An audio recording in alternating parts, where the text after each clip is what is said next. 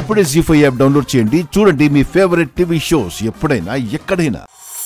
రేపటి శ్రీకరం శుభకరం కార్యక్రమంలో చెవి సంబంధమైనటువంటి ఇబ్బందులు తగ్గడానికి గాను పాటించవలసినటువంటి మంత్రం త్రిపుర సిద్ధాంతంలో వారాహి అమ్మవారి గురించి ఏం తెలియజేయబడింది? రవి కుజ రాహు దోషాలు తొలగడానికి పితృదోషాల నుంచి విముక్తికి భూ సంబంధమైనటువంటి సమస్యలతో పాటు అనేకమైనటువంటి సమస్యలకి పరిష్కారంగా అమ్మవారిని ఎలా ఆరాధన చేయాలి? అలానే పెళ్ళి కావలసినటువంటి యువతి యువకులు ఎటువంటి పరిహారాన్ని పాటించాలో తెలుసుకుందాం.